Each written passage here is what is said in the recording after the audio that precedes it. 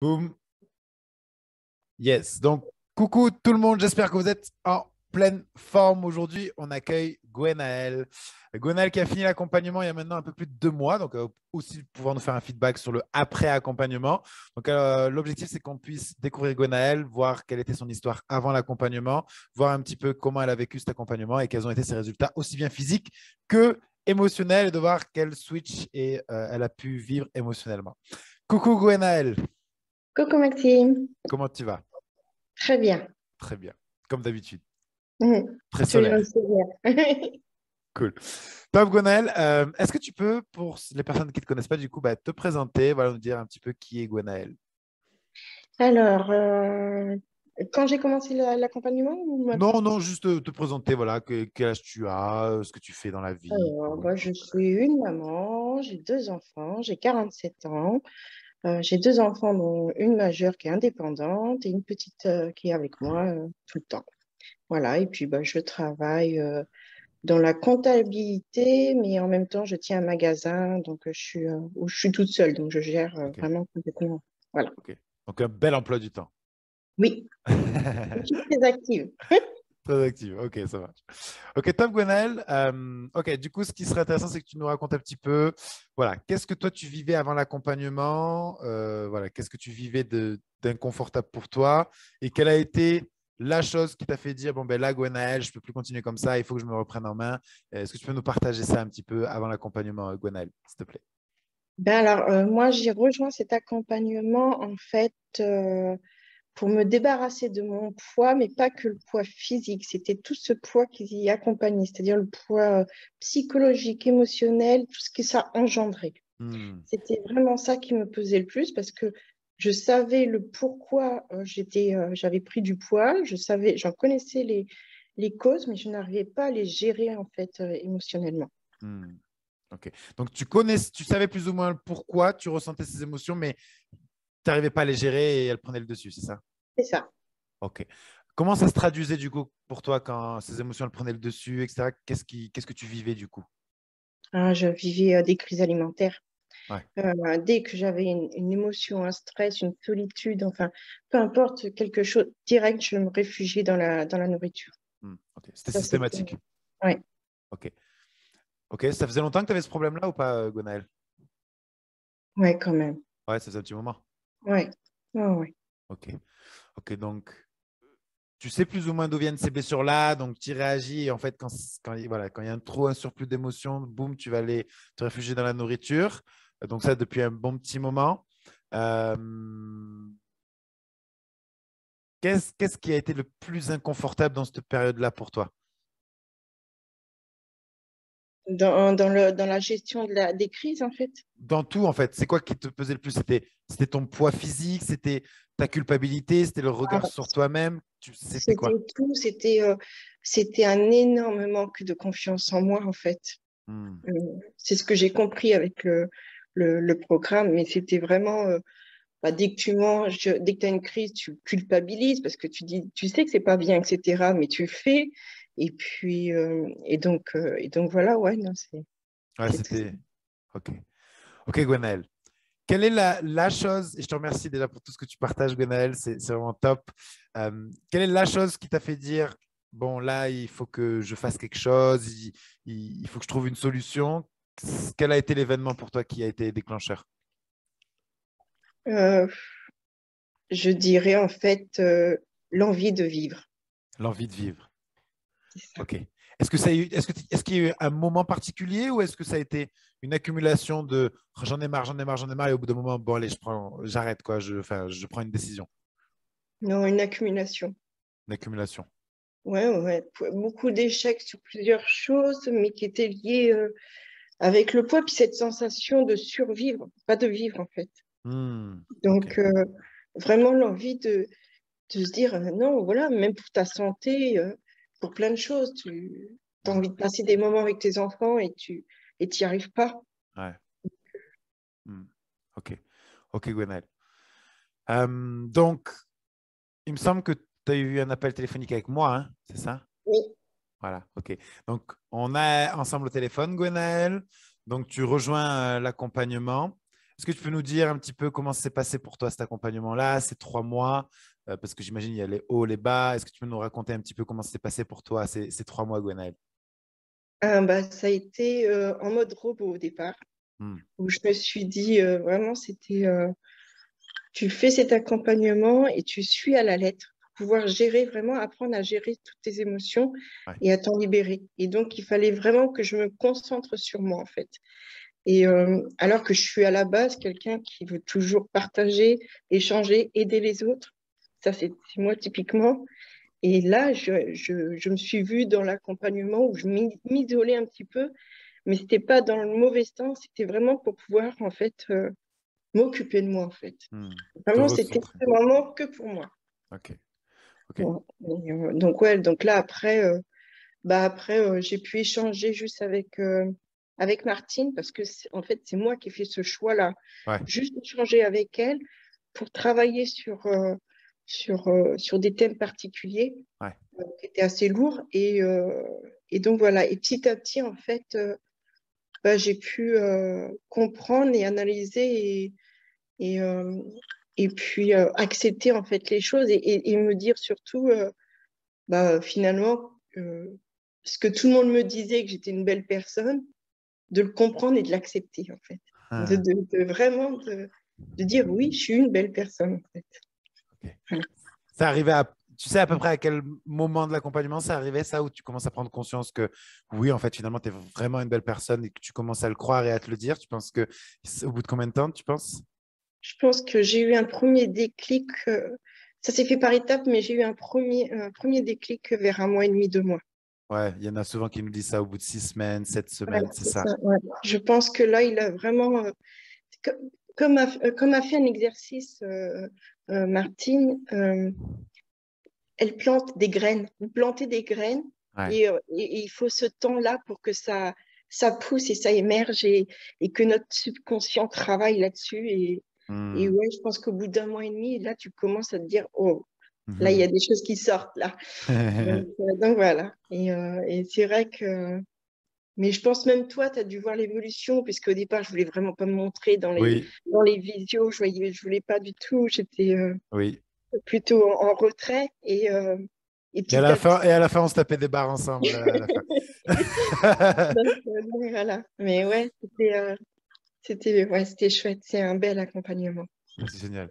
Top Gwenaël. Et oui, c'est vrai, c'est exactement ça. Il y en a beaucoup qui, sont, qui ont fait ce que tu fais. beaucoup, hein, c'est tout le monde arrive, on éteint les caméras, tout ça, ce petit, genre en mode bon, je vais faire sur moi. Mais c'est normal, il y a besoin aussi de ce moment de, tu sais, dans son cocon, en fait.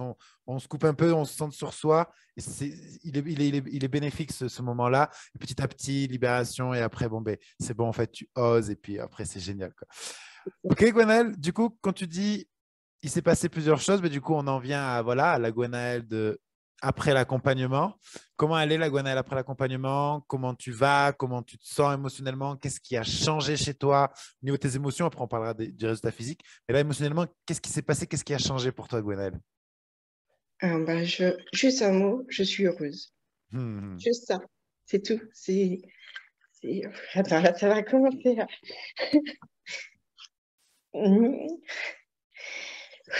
Attends. Prends ton temps, Gwenaël. Euh, c'est juste.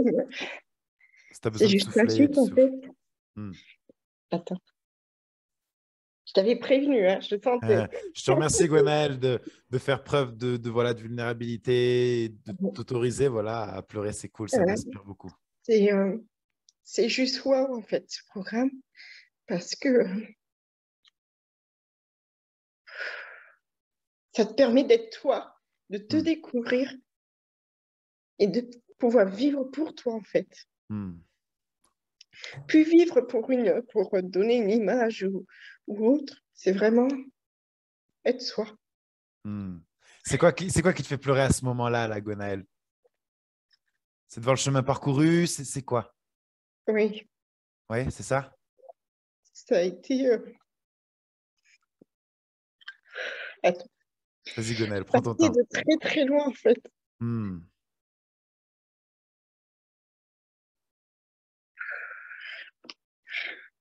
Je partais de très très loin, en fait, parce que euh, j'ai vécu beaucoup, beaucoup de, de choses qui étaient très négatives. Et euh, c'est pas juste une chose, c'était une accumulation de.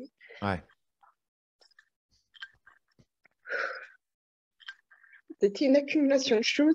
Et en fait, euh, bah, tu, tu m'as donné euh, toutes les clés pour pouvoir en fait accepter tout ça et que tout ça, en fait, tout ce qui m'était arrivé, en fait, c'était que du positif. Et c'est ce qui m'a permis, moi, de comprendre que j'étais vraiment, en fait, une belle personne. Euh, c'est vraiment ça, en fait. Ce, ce programme, c'est un truc, c'est énorme. C'est... c'est... comment te dire? Euh, aujourd'hui, j'ai ma fille, euh, ma puce, euh, puisque la grande, elle est, indépendante, mais même avec elle, de toute façon, c'est, elle te regarde et elle te dit, maman, tu, tu es vraiment belle. Mais tu l'étais déjà, mais tu es encore plus magnifique. Hmm. C'est ton entourage qui te dit ça, en fait. Et, et là, en fait, c'est des vagues d'émotions que je reçois depuis la fin du programme. Et donc, c'est pour ça que là, je suis encore toute, tout émue parce que c'est vraiment que ça en fait. C'est, tout le monde, en fait, tout le monde voit le changement et c'est vraiment phénoménal. Mais c'est pas que physique, c'est autant émotionnel. On me dit mais qu'est-ce qui, que tu as fait pour euh, pour euh, devenir, enfin pas pour devenir, mais pour voir cette transformation qui est en train de se faire chez toi, autant euh, émotionnellement que que, tout. Aujourd'hui, j'entreprends des activités. J'ai repris le vélo au bout de 20 ans. Ça faisait 20 ans que je n'avais pas fait de vélo.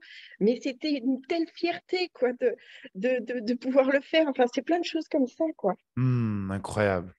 Et, euh, et, donc voilà, donc c'est ouais, ce, ce, programme, franchement, mais c'est c'est juste waouh. C'est ça. Chaque fois que j'y pense, c'est waouh. donc, euh, donc voilà, quoi. C'est euh, tu.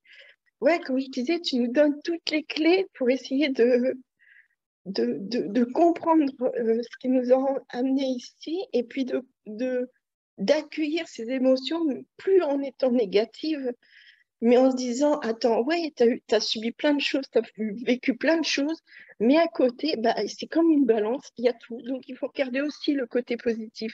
Et ça, en fait, on ne le voit plus. On ne le hmm. voit plus, on ne le regarde plus. Et, hmm. et puis, bah, le jour où on le voit, Bon, aussi, putain, la vache, la claque qu'on est en train de se prendre. c'est vraiment ça, en fait. Ok. Tu m'inspires énormément, Gwenaëlle. Tu m'inspires. J'avais dit, T'as pas à être désolé, au contraire, c'est ça qui m'inspire. C'est exactement sur la, la, chose sur laquelle tu es en train de t'excuser, c'est la chose qui, moi, m'inspire de. Bah, tu sais très bien que cette vidéo, elle va être vue par des centaines de personnes et, tu t'autorises finalement à, à, vivre ton émotion. Et c'est ce qu'on voit dans l'accompagnement, finalement, c'est vivre ses émotions. Donc, je te félicite énormément, Gwenaël, et ça m'inspire beaucoup. Je savais, Martine m'avait prévenu, et de toute je l'ai vu aussi dans les coachings, que tu avais vécu une vraie transformation profonde. Et du coup, c'est pour ça que j'étais aussi excité de faire cette, vidéo-là, parce que je me dis, voilà, je sais que Gwenaël, elle a, voilà, ça n'a peut-être pas été simple, mais il y a eu du gros travail de fait émotionnellement. Et euh, du coup, c'est vachement inspirant. Du coup, est-ce que tu peux nous dire aussi, vu que ça fait deux mois et demi hein, que tu as arrêté l'accompagnement? Oui. Et du coup, voilà, ça, peut être vachement intéressant de se dire, ben, oui, mais des fois, c'est sur l'euphorie, elle vient de finir. Non, là, ça fait deux mois et demi que tu es toute seule. Oui. Comment ça se passe pour toi émotionnellement? Est-ce que ça... Je continue à avancer, en fait. Je continue à travailler toujours sur, euh, sur mes émotions, toujours à essayer de comprendre et surtout, moi, sur l'estime de moi, en fait. Je continue vraiment à travailler sur ça parce que je sais que c'est sur ça que je, que je dois encore euh, m'améliorer. Mais en fait, comme j'ai dit, tu nous as donné ces clés et en fait, donc du coup, euh, ça, devient un automatisme. En fait, on le fait d'eux-mêmes, euh, euh, nous-mêmes, on, on, apprend à, voir des, situations où avant, ben, un truc qui va nous arriver, avant, on se serait effondré en, en, effondré en se disant oh, mince, il y a encore la poisse, machin, etc. Et en fait, là, bah, c'est une autre façon de penser. Si tu dis bon, il t'est arrivé ça, mais en même temps, ça t'a permis ça, ça t'a permis ça, et du coup, qu'est-ce qu'il en découle de tout ça? Et en fait, voilà, tu te dis ouais, mais attends, là, du coup, j'ai vachement bien réagi. J'ai réagi comme ça, je suis fière de moi, je suis contente parce que je me suis pas laissée démonter. Et, voilà, et donc en fait, tu en fais quelque chose de positif et tu continues à avancer. Et c'est plein de petits pas, en fait. Et c'est ça, en fait. C'est donc, ouais, je continue toujours et je pense que je continuerai tout le temps, en fait. Oui. Il n'y a, pas de, a pas de fin, en fait. Ok, top Gonel. Oui, je confirme, il n'y a pas de fin. Ça fait six ans que je suis tombé là-dedans et je n'arrive pas à en sortir et je veux même pas en sortir. Donc c'est cool en fait. Ouais, mais limite, on en deviendrait accro parce qu'on ressent tout ce bonheur. ah ouais. Moi, je vois, je vois vraiment une... la découverte de soi. Je vois ça comme, euh, je sais pas moi, comme tu vois un petit poussin qui qui perce la coquille et qui voit le monde et pour la première fois il fait waouh mais je vais bouffer le monde en fait. C'est je crois que c'est pareil c'est on a vécu une une autre vie une vie où on était victime de nos émotions de nos blessures et du coup ce cercle vicieux cette soupe mentale négative avec des comportements négatifs tu vois et quelque chose où on se rend compte on commence à se prendre conscience que ah, mais il y a quelque chose d'autre qui est possible, de ressentir des belles émotions, de s'aimer, d'être et dès que tu découvres ça, tu es waouh Et puis en fait, c'est sans fin après. Complètement. Et puis avant, tu sais pas qui tu es. On te pose la question c'est qui Gonel J'étais incapable de savoir en fait. Hmm. Et aujourd'hui, bah, j'apprends petit à petit à, bah, à me connaître, à, évoluer, à avancer, à, pousser un peu plus, euh, euh, à, avancer, à pousser mes limites et, et, euh, et, me découvrir en fait un peu plus. Quoi. Ok, génial. Félicitations, Gwenaëlle. Et qu'est-ce qu'elle a de plus ou alors comment elle est la Gwenaëlle de maintenant par rapport à la Gwenaëlle d'il y a cinq mois et demi, du coup, avant l'accompagnement? Quels ont été les plus gros changements pour toi? Positive, heureuse, joyeuse. C'est. Euh, c'est euh, euh, en fait, c'est ça, c'est tu, tu l'as dit à un moment donné au départ, solaire. Solaire. souvent, on me le disait, mais moi, je ne le voyais pas. Et en fait, c'est tout à fait ça. Et, mais aujourd'hui, je le, je, le, je le ressens, en fait. Je ne l'entends pas seulement, je le ressens. Hmm, Donc, c'est vraiment ça. Ouais, c'est ça. Ça fait du bien. Euh, ah, mais carrément. carrément. Tu sais, euh, ce que tu, ce que tu m'as donné, enfin, c'est tellement. Waouh, c'était vraiment. Euh, c'est tellement important pour, pour nous, mais mais pour toute femme, en fait, c'est hmm. tout le monde devrait, tout le monde devrait suivre ce programme. Tout le monde, parce que tout le monde a à apprendre en fait de de, de, de, soi. Et euh, et euh, franchement, mais je, je, conseille mais à mille Viens, on, vient me voir pour me demander mais qu'est-ce qui s'est passé? Quand j'explique que j'ai que j'ai suivi ce programme mais euh, je peux? Bah non, tu peux pas parce que toi, tu es un homme déjà. Ah. mais voilà, donc tu vois, donc, euh, mais après, bah, euh, donc il y a des femmes aussi qui viennent, donc je leur explique, je leur donne, et, là, ils sont dans la période où ils sont curieux, ils vont voir, etc. Mais je suis sûre qu'il y en a qui vont, qui vont y aller parce que c'est tellement flagrant, en fait, cette transformation et. Hmm. Et puis, et puis vivre pour soi, vivre, c'est une liberté, mais c'est génial, quoi. Parce que euh, tu peux être, euh, tu peux assumer tes pensées, tes, tes, tes, opinions, tu peux, tu t'en fiches en fait de ce que les autres pensent. Tu, tu vis pour toi en fait. Hmm. Et ça, c'est juste magique, quoi. Ça n'a pas de prix. Ah oui, ah non, mais c'est c'est tout ça en fait que tu donnes, c'est du bonheur, de la liberté, c'est c'est euh, s'assumer, c'est c'est une joie de vivre, c'est une libérance. Enfin, c'est tout, c'est merveilleux. Quoi. Génial, Gwenaël. super. Ok, super. Je te remercie, Gwenaël. Et euh, bon, on va parler quand même du physique rapidement parce que je sais qu'il y en a qui, à qui ça intéresse. Et c'est aussi, euh, c'était pourquoi aussi tu étais venu à la, base aussi. C'était pas que pour ça, mais il y avait une partie pour ça. Quels ont été tes résultats physiques là au bout de, au bout de trois mois déjà dans un premier temps? Au bout de trois mois, j'ai perdu euh, à peine 15 kilos. 15 kilos C'est déjà pas mal. déjà pas mal. Voilà. Mais j'ai continué aujourd'hui, j'en suis à, à, presque 20, je suis à 19, 19 euh, et demi. Ok, génial. Donc, euh, mais euh, en fait, c'est, j'ai pas fait de régime type en fait. J'ai suivi tes, tes, conseils, hein, le, le, jeûne intermittent au, départ. Je pensais que ça serait plutôt difficile parce que moi j'aimais bien le petit déjeuner et tout ça et, et finalement bah, c'est quelque chose auquel je me suis vite adaptée, qui m'a pas du tout manqué parce qu'il y a toutes ces collations euh, euh, qu'il y a dans, dans, la journée. Et, euh, et puis bah, après, c'est juste en fait une...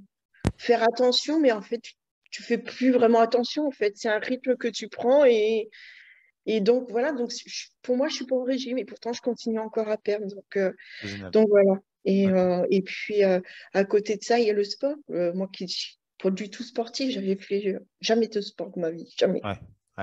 Et, et, et j'en ai pris goût. Et à chaque fois que je me vois dans les visualisations, c'est en train de faire du sport. Ok, cool. Donc, euh, donc euh, non, c'est, euh, c'est, c'est, je prends goût, je revis, je, et puis en fait, c'est, c'est tout, tout se fait tout seul en fait. C'est, ouais. c'est magique. Oui, c'est ça. Hein. C'est... Mais je te jure, t'es un magicien, toi. donc c'est, c'est, merci beaucoup Gwenaël et, et, du coup, tu vois, c'est intéressant parce qu'il y en a peut-être qui se disent je comprends pas parce que euh, je comprends pas le rapport qu'il y a tu sais, entre. C'est parce que j'ai eu le témoignage de, de Jessica avant toi qui disait pareil. Euh, pareil pour Séverine. Et c'est à partir du moment où il y a vraiment eu cette libération émotionnelle, ben c'est comme si tu as l'impression de ne pas faire d'efforts plus que ça et les kilos ils partent en fait. Et c'est comme si le poids de tes émotions dont tu t'es libéré, ben, le poids c'est quand même étrange, tu vois. Mais en fait, il s'en va et c'est juste incroyable, en fait. C'est ça. Et, et, là, avec euh, c'est quasiment six mois de, de, de, programme, euh, j'en ai discuté beaucoup avec les, avec les superwoman. Et euh, tout au départ, tu vois cette caractéristique. Ah, tiens, ça fait une semaine, deux semaines, j'ai pas perdu beaucoup, machin. Et tu leur dis, tu leur dis, attendez, laissez faire les choses, faites travailler votre subconscient. C'est des petites graines qui sont en train de se, se, poser ici et là, et vous allez voir. Et en fait, tu vois après, au fur et à mesure que tu discutes, tu, tu, vois que bah, finalement, oui, euh, elles ont toutes perdu euh, euh, du poids au fur et à mesure, et, et, et, finalement, elles le vivent super bien parce qu'elles s'en rendent même plus compte. Et, puis, du coup, tu as tout, tout ce petit quotidien, c'est tu fais plus attention à tous ces petits moments de bonheur et, de joie et, de partage, etc. Ce qui, ce qui rend la vie magnifique, en fait, tu, tu, tu fais beaucoup plus attention à ça. Et du coup, le poids, bah, qu'est-ce que tu as à foutre, en fait? C'est vrai. ok. Cool, Gwenaël. vraiment vachement inspirant. Vachement inspirant. Je te remercie, Gwenaël. Je suis euh, très heureux d'être le premier témoin de cette transformation-là. Martine aussi, je pense qu'elle a dû te dire ses, félicitations. Euh, donc vraiment, félicitations. Ça a été un plaisir de t'accompagner aussi parce que c'est vrai qu'au début, tu étais peut-être un peu réservé, mais à la fin, c'est vrai qu'on te voyait. Tu es quand même solaire, tu étais là, souriante et tout, à faire des blagues. Et, euh, j'ai adoré ça chez toi.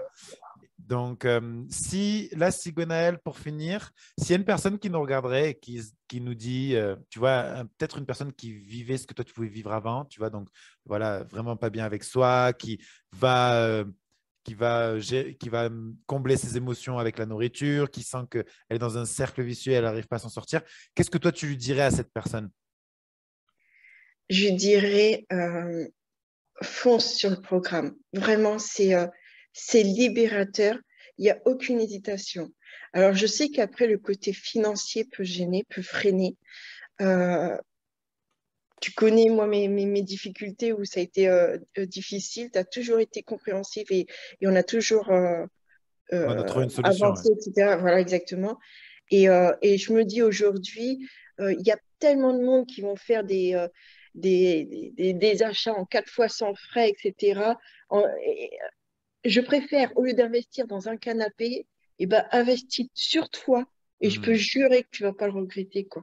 Mmh. C'est j'ai vu toutes ces femmes, j'ai parlé avec toutes ces femmes qui, qui, ont, qui ont suivi ce programme. Il n'y en a pas une seule qui a regretté. Pas hmm. une seule. Donc, euh, foncer, c'est juste mettre de l'amour en soi, en fait. C'est hmm. se donner de l'amour, c'est ce programme, en fait. Hmm. C'est vraiment ça, donc foncer. C'est vraiment ça. Merci beaucoup, Gwenaël. Top. Bah, écoute, je te remercie énormément. Euh, je te félicite également de, ton parcours. Euh, voilà, je te laisse dire le mot de la fin et, on se quittera sur ce mot de la fin, euh, Moi, je dirais juste merci Maxime et Body Mental. Vraiment merci du, du fond du cœur. Hmm. Je dis encore avec les émotions. Vas-y, Gwenaël, je, le, je le reçois avec grand, grand plaisir. Vraiment, c'est que du bonheur. Hmm. Je te remercie, Gwenaël. Je te félicite pour, euh, pour ta, transparence et ta vulnérabilité. Et je suis sûr que cette vidéo, elle va inspirer des, dizaines, voire des centaines de femmes.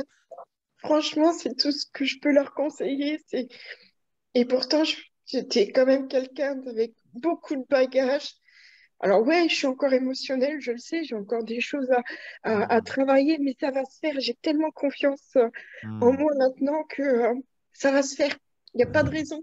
J'ai toutes les clés, j'y arrive, j'avance et, euh, et, euh, et au fur et à mesure que le temps passe, en fait, je vois encore plus d'avancées que je fais et, de progrès. Et, c'est juste euh, merveilleux en fait de pouvoir vivre pour soi. C'est tellement libérateur. Donc on sait. Merci Gonaël, merci énormément. Euh, je te fais des gros bisous, Gonel. Je te remercie de, voilà, d'avoir partagé euh, ça avec nous et de, nous avoir fait partager ce que tu vivais là émotionnellement. Donc, je te remercie énormément, Gwenaël. Et du coup, on fait des bisous aux Superwoman et on se retrouve très, très vite. On vous fait des bisous.